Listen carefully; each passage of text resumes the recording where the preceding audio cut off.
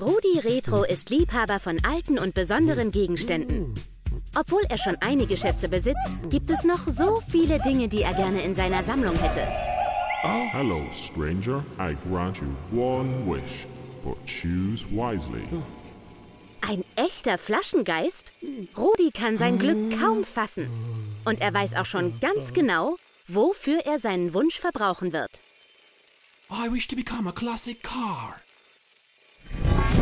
Aber was ist denn da schiefgelaufen?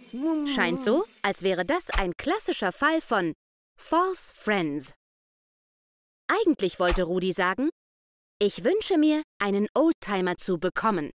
Obwohl es sich fast gleich anhört, heißt bekommen auf Englisch nicht to become. Denn to become bedeutet werden. Rudi hätte sich wünschen müssen, I wish to get a classic car.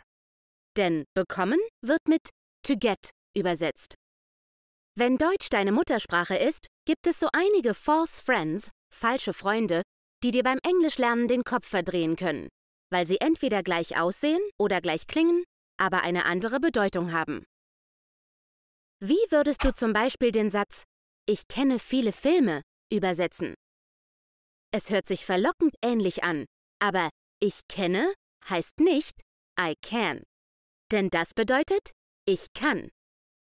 Richtig muss es heißen I know a lot of films. Denn ich kenne wird mit I know übersetzt. Auch der Satz Ich will Eiscreme beinhaltet einen false friend. Das Wort will wird im Englischen nämlich nicht nur ähnlich ausgesprochen, sondern auch gleich geschrieben. Aber ich will heißt nicht I will, denn I will bedeutet ich werde. Richtig muss es heißen I want ice cream, denn ich will wird mit I want übersetzt. Außerdem solltest du bei folgender Wendung aufpassen. Bitte nehmen Sie Platz.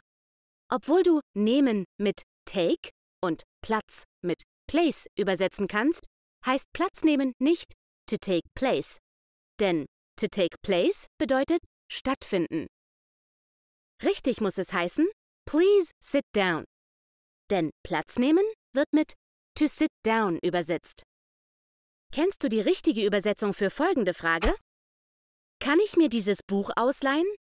Ausleihen klingt ziemlich stark nach to lend, oder? Aber Vorsicht! Verwendest du im Englischen to lend, dann willst du jemandem etwas verleihen. Richtig muss es heißen Can I borrow this book? Denn sich etwas ausleihen wird mit to borrow something übersetzt. Merke dir also, bekommen heißt to get. Ich kenne heißt I know. Ich will heißt I want.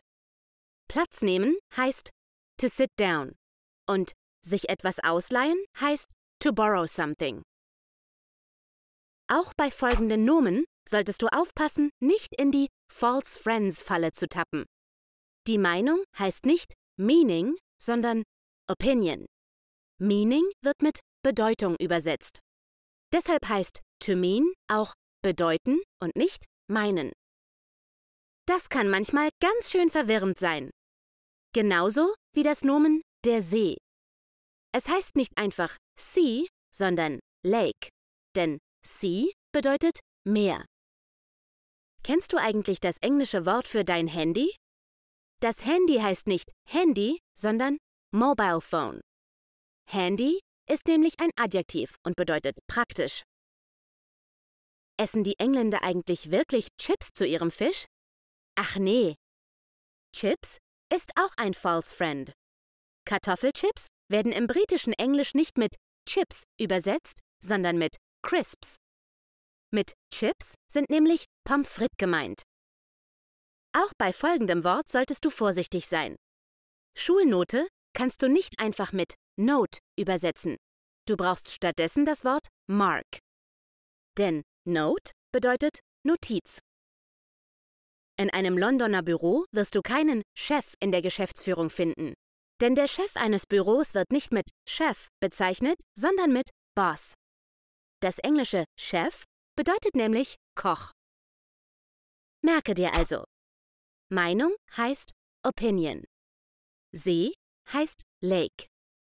Handy heißt Mobile Phone. Chips heißt Crisps. Schulnote heißt Mark. Und Chef heißt Boss. Und was macht Rudi Retro? Der stellt plötzlich fest, dass er offensichtlich nicht der Einzige ist, der in die False Friends Falle getappt ist.